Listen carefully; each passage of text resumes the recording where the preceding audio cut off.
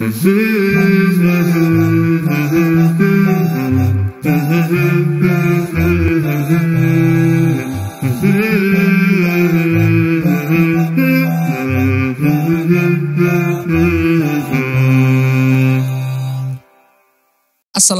warahmatullahi wabarakatuh. Alhamdulillah.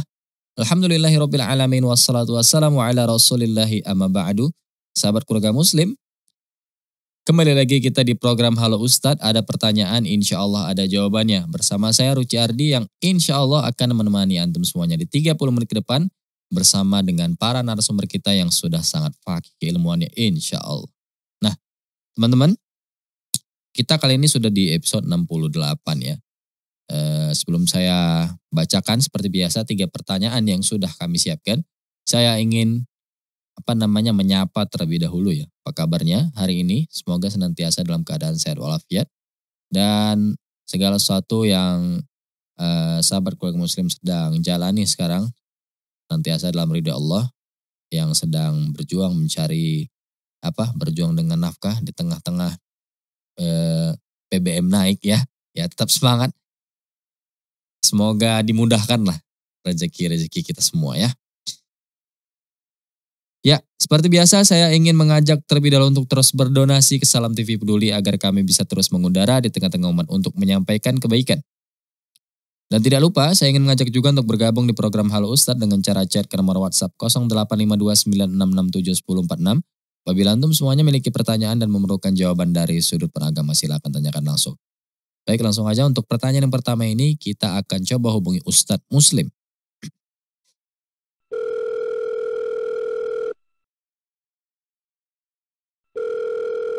Halo Ustadz, Assalamualaikum.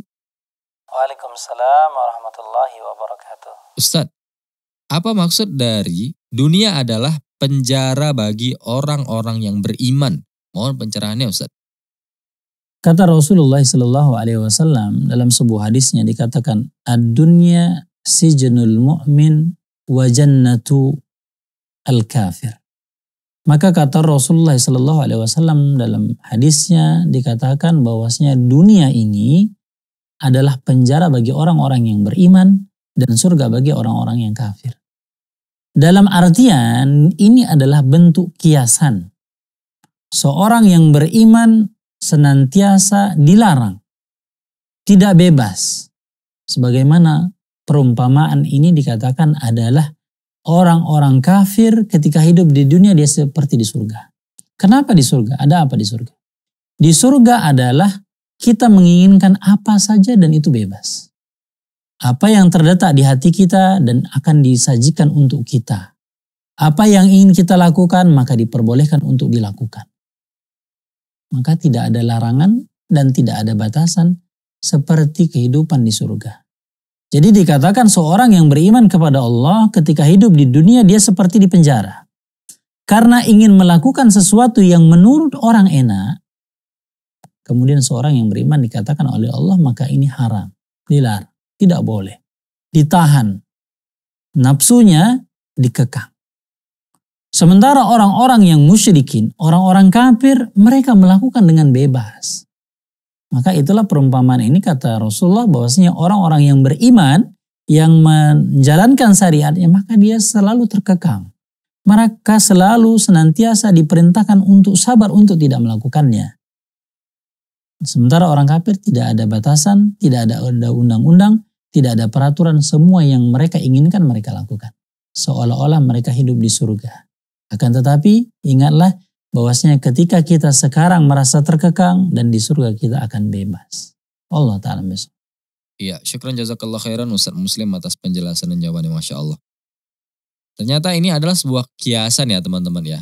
Ini ada sambungannya, dunia adalah penjara bagi orang yang beriman dan surga bagi orang-orang kafir. Ini maksudnya adalah uh, bahwasanya orang-orang beriman itu seperti di penjara di dunia ini. Kenapa? Karena orang-orang beriman itu senantiasa dilarang di dalam apa namanya dengan sesuatu hal-hal yang haram. Sementara kalau orang-orang kafir dia menganggap bahwasanya dunia ini merupakan surga baginya karena segala sesuatu ya dia oke okay aja makan apa aja melakukan hal apa saja dia tidak memperhatikan hal, -hal haramnya. Nah berbeda dengan orang beriman surganya nanti adalah ketika surga yang sudah memang disiapkan oleh Allah terhadap orang-orang beriman kepada orang-orang beriman. Nah, kalau nanti sudah di surga, nah baru seperti apa namanya? Eh, boleh bebas kita pengen apa saja, mau apa aja yang kita nggak dapat di dunia itu bisa bebas kita nanti minta di surga ya. Semoga kita tergolong eh, menjadi orang-orang yang beriman ya, sahabat kurang muslim. Nanti akan kita lanjutkan di segmen yang kedua, jangan ke mana-mana tetap di program Halo Ustaz. Apakah memberikan denda itu boleh?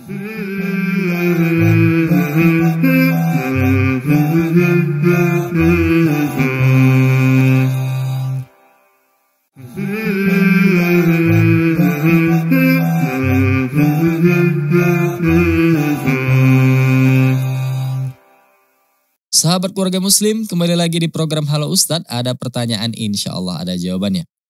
Tadi kita sudah apa ya sama-sama mendengarkan jawaban dari Ustadz Muslim terkait uh, dunia adalah penjara bagi orang yang beriman. Nah ini tadi sebuah kiasan yang di mana tadi sudah disampaikan oleh Ustadz Muslim. Buat teman-teman yang ketinggalan nanti bisa lihat di YouTube Salam Televisi. Sebelum saya bacakan pertanyaan yang kedua ini, saya ingin mengingatkan terlebih dahulu untuk terus berdonasi ke Salam TV Peduli agar kami bisa terus mengudara di tengah-tengah umat untuk menyampaikan kebaikan. Dan tidak lupa, saya ingin mengajak juga untuk bergabung di program Halo Ustadz dengan cara chat ke nomor WhatsApp 085296671046. Apabila antum semuanya memiliki pertanyaan dan memerlukan jawaban dari sudut beragama, silahkan tanyakan langsung. Nah, di pertanyaan kedua ini kita akan coba hubungi Ustadz Rosyid.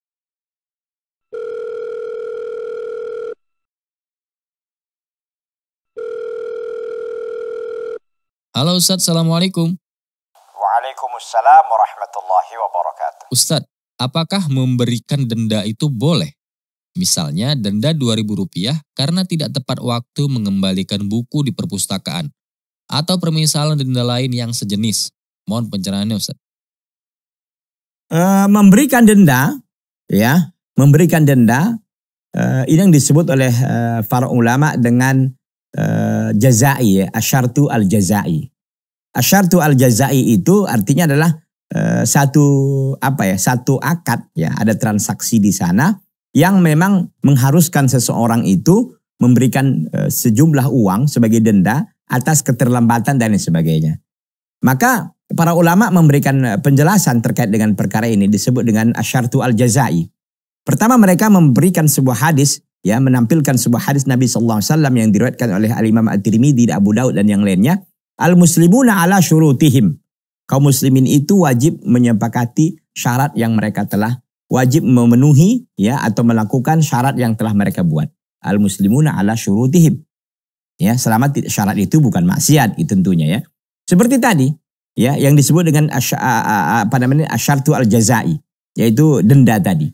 Orang yang meminjam di perpustakaan ya orang yang meminjam di perpustakaan ya dengan waktu tertentu tentunya ya. Waktu itu harus dikembalikan selama sepekan pamannya dia minjam buku yang harus dikembalikan ya dalam sepekan. Qadarullah udah sampai sepekan buku juga belum kembali. Maka di sini boleh bagi petugas perpustakaan tadi memberikan semacam denda. Dan itu sudah disepakati di awal kan? Itu ada aturannya biasanya sudah jelas aturannya bahwa barang siapa yang melebihi batas ya peminjaman buku yang sudah ditetapkan, contoh sepekan lalu dia melebihi satu hari dua hari, mungkin per hari dendanya seribu atau dua ribu umpamanya. Maka ini tidak tidak mengapa dan ini boleh. Ini tidak mengapa dan ini dibolehkan. Tapi ingat para ulama memberikan penjelasan selanjutnya bahwa ini bukan terjadi dalam bab dalam bab utang piutang. Kalau dalam bab utang piutang maka ini nggak boleh. Atau dalam bab uh, jual beli yang uh, sifatnya itu uh, apa ya utang. Contoh utang piutang umpamanya saya ini minjam 10 ribu ke uh, ke seseorang. Seorang itu mengatakan kalau nanti pekan depan nggak dibayar 10 ribu, hari Sabtu umpamanya nggak bisa dibayar, maka dendanya 1000. Maka ini haram dan ini adalah riba. Karena ini transaksinya dalam jual dalam utang piutang, maka nggak boleh memberikan tambahan.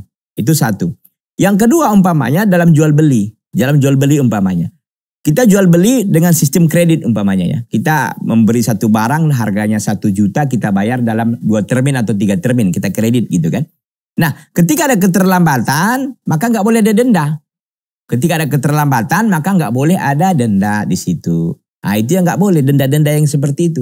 Adapun denda-denda yang bukan sifatnya uh, itu tadi, bukan sifatnya transaksi, ya transaksi yang utang piutang, ya atau jual beli yang sistem kreditnya tadi yang ada utangnya di situ juga, maka ini ini tidak mengapa boleh diterapkan denda tersebut. Seperti tadi itu, denda karena keterlambatan mengembalikan buku atau denda karena kesepakatan menyelesaikan pekerjaan pada waktu tertentu dia nggak bisa, maka boleh diambil denda tersebut. Kenapa? Karena keterlambatannya menyebabkan orang lain menjadi menjadi orang lain jadi terganggu. Maka ini tidak mengapa denda yang seperti itu. Tapi ingat catatannya, syartu jazai ataupun denda ini tidak berlaku pada utang piutang atau jual beli yang ada persyaratan seperti tadi itu. Ada jual beli kredit yang harus utang yang dicicilnya dalam waktu tertentu. Di situ ketika tadi keterlambatan maka ada denda, maka ini tidak dibolehkan. Di luar itu denda dibolehkan. Wallahu ta'ala alam. Iya, syukran jazakallah khairan Ustadz Rashid atas penjelasan dan jawabannya Masya Allah. Nah teman-teman ternyata uh, kalau ada kesepakatan atau sudah ada akadnya di awal, denda ini diperbolehkan. Uh, ini di perpustakaan memang biasa seperti itu ya. Karena mungkin ya, uh, karena kita telat mengembalikan, sementara banyak orang yang mencari buku yang kita pinjam tersebut, itu menjadi sebuah kendala ya. Dan kita sudah menghalangi orang untuk ya misalnya bukunya itu memang penting sekali bagi kita sudah menghalangi atau memperlambat kepentingan dia seperti itu karena keterlambatan kita. Jadi sepertinya denda ini sah-sah saja. Namun ini ternyata tidak berlaku apabila ini terjadi dalam hal hutang piutang ya teman-teman ya. Ini udah beda bab, udah beda bab pembahasan. Jadi kalau hutang piutang itu tidak dibenarkan adanya denda. Nah, ini juga bisa juga terjadi di penyewaan mungkin ya kayak misalnya ada rental mobil kalau misalkan telat balikin ya mungkin ada kena dendanya. Misalkan lebih dari 24 jam ya wajar dong misalkan nambah satu hari lagi seperti itu. Jadi denda ini kalau memang sudah ada kesepakatan di awal ini dibolehkan namun bukan pada hal uh, atau pembahasan hutang piutang seperti itu teman-teman ya. Semoga tercerahkan buat sahabat yang bertanya dan untuk kita semua. Nanti akan kita lanjutkan di segmen ketiga, jangan ke mana-mana tetap di program Halo Ustaz. Apakah anak di luar nikah juga harus diakikahkan.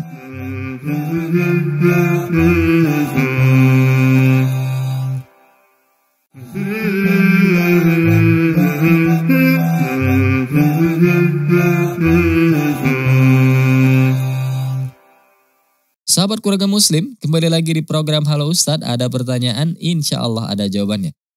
Tadi kita sudah mendengarkan jawaban dari Ustadz Muslim yang pertama, kemudian yang kedua tadi barusan ada Ustadz Roshid ya terkait eh, denda denda yang dibolehkan itu seperti apa gitu ya kurang lebih seperti itu. Nah buat sahabat-sahabat yang uh, yang ketinggalan terhadap jawabannya nanti bisa saksikan di channel YouTube Salam Televisi.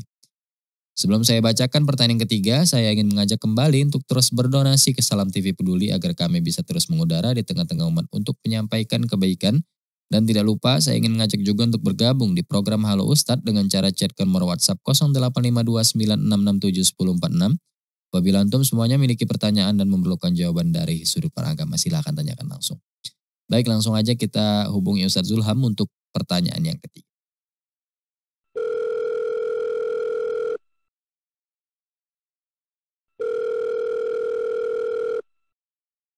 Halo Ustadz, Assalamualaikum. Waalaikumsalam warahmatullahi wabarakatuh. Ustadz, apakah anak di luar nikah juga harus diakikahkan? Mohon pencerahannya Ustadz. Kaum muslimin dan muslimat rahimani wa rahmakumullah. Pada dasarnya setiap anak yang dilahirkan itu dianjurkan kepada kita untuk mengakikahkannya. Ini sebagaimana hadis Nabi Shallallahu Alaihi Wasallam kullu gulamin murtahidun bi'aqiqatihi. Tudbahu anhu, tudbahu anhu yauma sabihi. Setiap anak yang dilahirkan tergantung dengan akikahnya, yaitu tergadaikan dia, tergadaikan dengan akikahnya. Dan disembelihkan atas nama dia pada hari ketujuhnya. Jadi, jadi hadis ini menunjukkan kepada kita bahwa akikah itu merupakan hak seorang anak. Dan kewajiban daripada orang tua ataupun keluarganya. Nah sekarang pertanyaannya bagaimana pula dengan seorang anak yang lahir dari hasil perzinahan. Tentu si anak tidak ada salahnya. Dan hak dia sebagai seorang manusia, sebagai anak yang baru dilahirkan adalah diberikan akikah kepadanya. Maka berlaku di sini pula anak-anak yang lahir meskipun dengan cara yang halal, yaitu dengan cara pernikahan yang resmi, ataupun dengan cara yang tidak halal haram ya maka tetap dia punya hak untuk diakikahkan. Nah kaum muslimin dalam muslimin rahimani wa yang paling penting yang perlu kita catat adalah pada masalah ini ialah bahwa kita setiap muslim harus menjaga kehormatan kita yaitu menjauhi perbuatan zina. Nabi Shallallahu Alaihi Wasallam ya sangat ketat dalam masalah ini sehingga beliau melarang ya adanya ikhtilat antara laki-laki maupun perempuan, campur baur tanpa ada batas.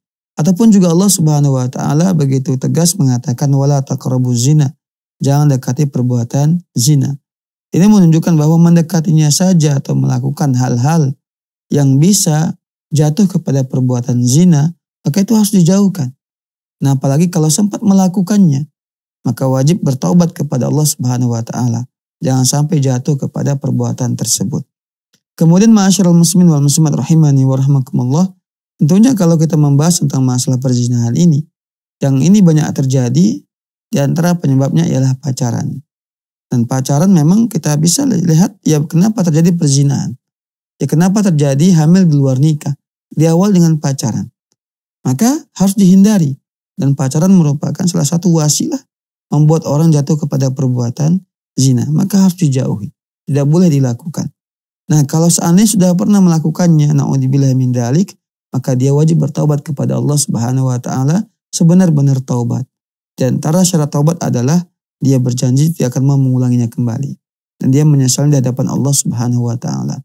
Semoga Allah ia senantiasa menjaga kita dan menjauhkan kita daripada perbuatan zina. Begitu juga menjauhkan anak cucu kita dan keluarga kita daripada dosa besar yang satu ini. Wallahu taala alam.